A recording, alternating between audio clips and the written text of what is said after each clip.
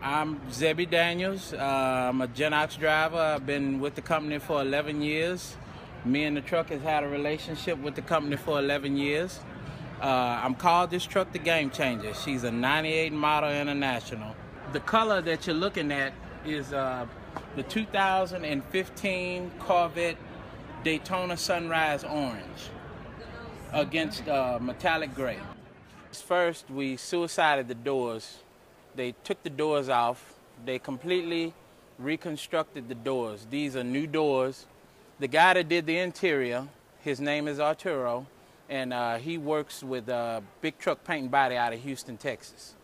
He's done the seats, uh, he's done the floors, he's done the ceilings. The steering wheel was actually reconstructed like five or six times.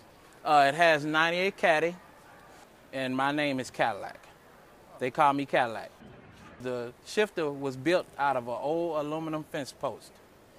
It was sitting in my backyard and it had uh, concrete around it, like it just to come out of the ground from going on the fence. We put a, a pickup truck window in the back.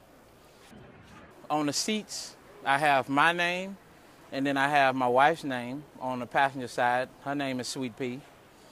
The uh, To God Be the Glory was the original insignia that was on the truck when it was red and it was up on top you know, we kind of wanted to spitball on this thing, and, and, it was idea that was thought of, and it was kind of thrown in the garbage a little bit, but the the guys at the paint shop decided to bring it back, and they wanted to do it. So they actually uh, contributed this tank for free. I just figured it's time that we bring something different to the equation. That's why I call it the game changer.